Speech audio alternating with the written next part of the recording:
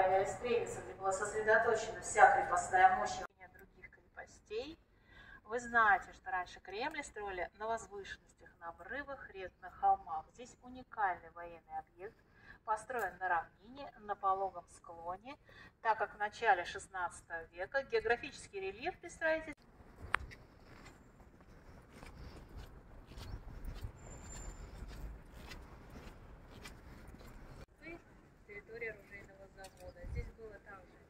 летнее дворянское собрание.